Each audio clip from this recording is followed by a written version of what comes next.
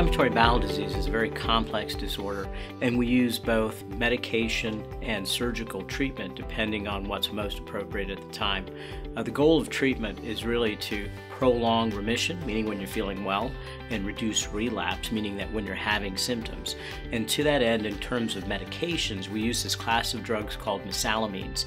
They come in all shapes and sizes and names, but basically you take it by mouth or through an enema or a suppository, and it works topically, meaning that it works when it touches the area that's affected, so it doesn't get absorbed in your bloodstream, and it's quite effective, and it has very minimal side effects. And so it's an ideal therapy if it works.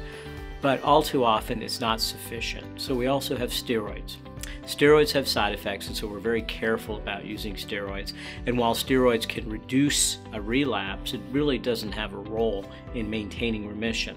There are topical forms of steroids that you can take by mouth that work like the mesalamines that are safer, um, but it takes longer to be effective, whereas prednisone is quickly effective, but it has the side effects. Then we have immune modulators. We know that inflammatory bowel disease is caused by an overactive immune system. So if we could suppress the immune system, we could help IBD.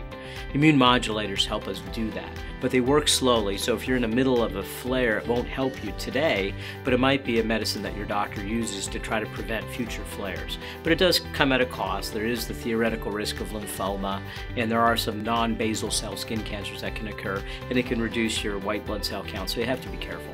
Last but not least, and the most important, is biologic therapy. Biologic therapy are these small targeted drugs that that really pinpoint at a very molecular level a point in your inflammatory cascade, inflammation. And they're very potent. They reduce relapse, they prolong remission, and it's really quite a godsend for many of our IBD patients.